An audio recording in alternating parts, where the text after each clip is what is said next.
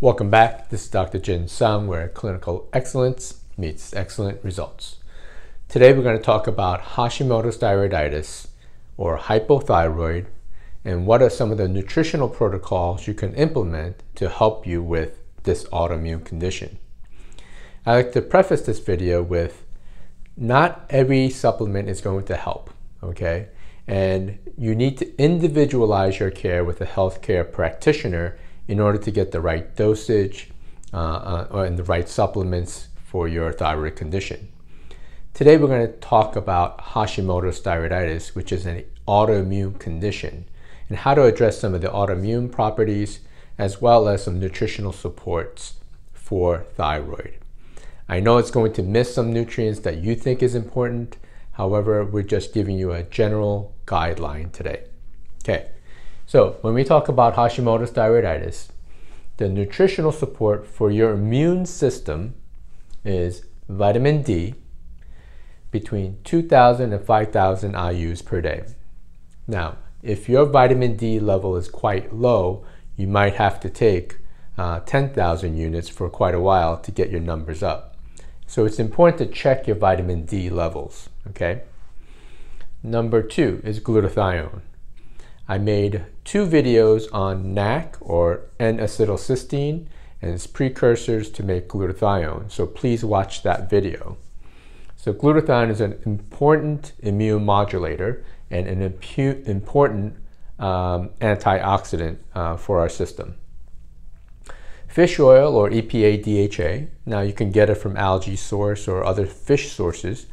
However, you want to take between 1,000 and 500, um, 1,000 or 5,000 milligrams of EPA and DHA, not just any fish oil. You want to be able to uh, narrow it down to EPA and DHA. Okay, if you want to have a general uh, anti-inflammatory effect, EPA is better. Uh, if you want to have a more brain effect, DHA is better. Another one is turmeric. Now, turmeric uh, is an anti-inflammatory, but also helps modulate some of the immune system between 400 and 1,000 milligrams per day. And the other one is resveratrol, 250 to 750 milligrams per day. Now, I'm giving you a range of these supplements and not giving you exact numbers because the exact numbers have to be determined by your physician or trial and error on your part, okay? Now, general supplementation. You can take selenium in the form of L-selenomethionine, okay?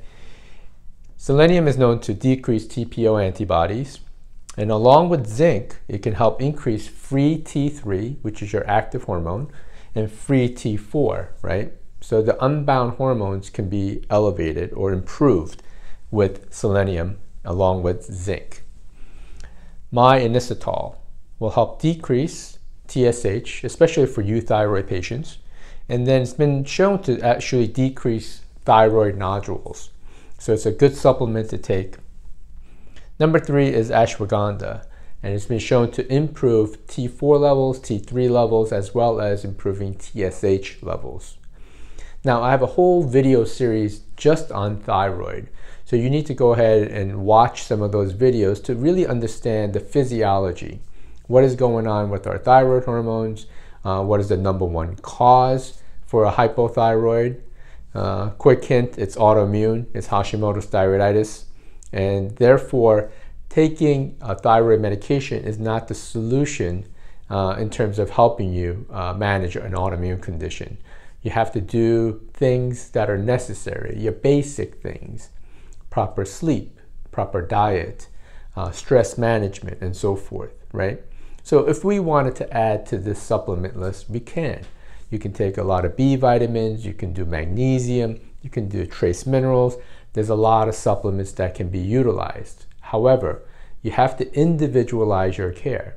You can't just randomly say, I heard this is good for me, so I'm going to take it. And then by the time you're done, you'll end up with 20, 30 supplements that you're taking, and you have no idea why you're not feeling well. So it's very important to individualize your care, not just take random protocols and just implement. So what I did was I just gave you some general lists of things that you can utilize. However, it has to be individualized for you.